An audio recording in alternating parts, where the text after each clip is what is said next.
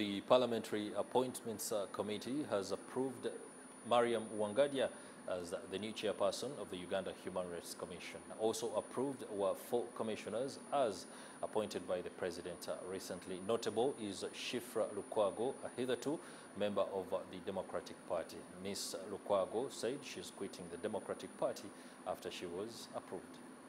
The former deputy IGG, who was recently appointed to the chair of Uganda Human Rights Commission, led the team of other nominees to the Parliamentary Accounts Committee chaired by the Deputy Speaker of Parliament, Anita Among, for vetting. Upon her vetting, Wangadya committed to investigate all human cases and deliver justice to victims. My promise to Ugandans is to investigate each and every human rights complaint and uh, depending on the outcome of the investigation, to give redress to the victims. But I also want to appeal to the people of Uganda to be law abiding and to respect the rights and freedoms of others. She has also pledged to engage Parliament to press relevant government agencies which have delayed to clear compensation awards to the claimants. The Commission orders payment of compensation it's the institutions against whom the compensation was awarded to pay the compensation.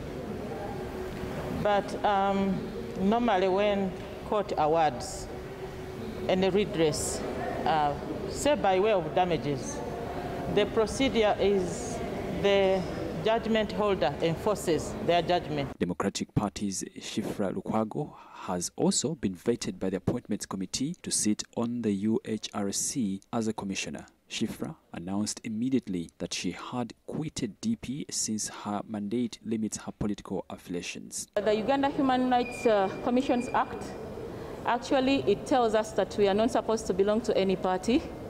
And uh, it being that I've been the woman leader for Kampala of Democratic Party, I take this honor to announce that my position is now declared vacant since the act and service where I'm going to, to serve. The Ugandans in fighting for their rights, promotion and protection, uh, sensitization about their rights does not permit me to belong to any party. The renowned radical critic of government on human rights violations, Crispin Kaheru, has today crossed to serve the government he rebuked after sailing through the Appointments Committee smoothly to join Human Rights Committee. I do not think that um, in any way this platform takes away that responsibility from me to condemn human rights violations. In fact, the mandate of the Uganda Human Rights Commission is clearly about promotion of human rights. It is about uh, promotion of uh, civic awareness.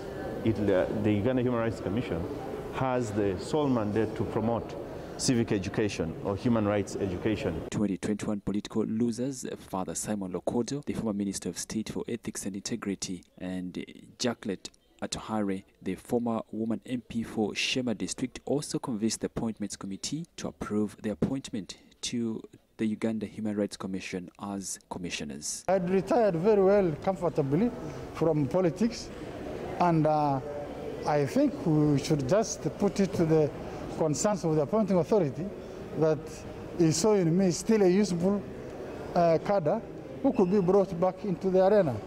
Otherwise, I had uh, gone to my farm and I was already beginning to handle my. I would like to take this opportunity, first of all, to thank the, to, to thank the Fountain of Honor, His Excellency President Yoweri Museveni, for the trust that he has put in me.